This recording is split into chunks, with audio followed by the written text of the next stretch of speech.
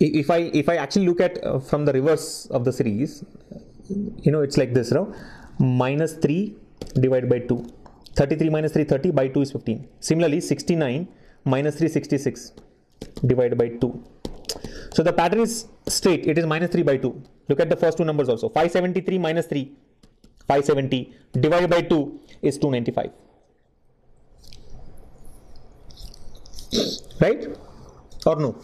No, it's not 295, it's 285. It's supposed to be 2. So basically, the wrong number is 285. The wrong number is 285. You understand? This should be 285. Now 285 minus 3 by 2. 285 minus 3 is 282. 282 by 2 is 141. 141 minus 3, 138. 138 by 2 is 169. So clearly the pattern is what? Minus 3 divided by 2 to get the next number. That's it. Apply the same pattern to these numbers now. Right? So we have 12, 13, A, B, C, D, E. I'm doing the calculation mentally to save time. So 12, 13 minus 3, 12, 10. 12, 10 by 2, 605. So this is 605. 605 minus 3, 602. Divide by 2, 602 divided by 2, 301.